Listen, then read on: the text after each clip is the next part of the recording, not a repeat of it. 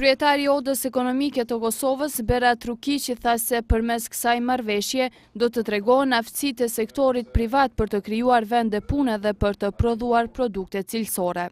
Do të ketë shumë projekte konkrete të cilat do të tregojnë aftësinë e sektorit privat për me nxitë investime, për me kriju aktivitete produktive që pastaj rezultojnë edhe me produkte cilësore që nuk do të jenë vetëm për tregun tonë, por do të jenë edhe për tregjet ndërkombëtare.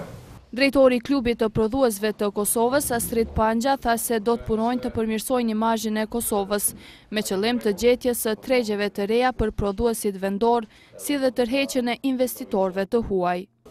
Të realizojmë projekte që kanë për qëllim gjetjen e tregjeve të reja për produktet e Kosovës, duke marrë parasysh që Oda Ekonomike e Kosovës ka një rrjet të gjerë të bashkëpunimit në vende të ndryshme të Bashkimit Evropian, SHBA, po edhe në vendet e Lindjes së Mesme.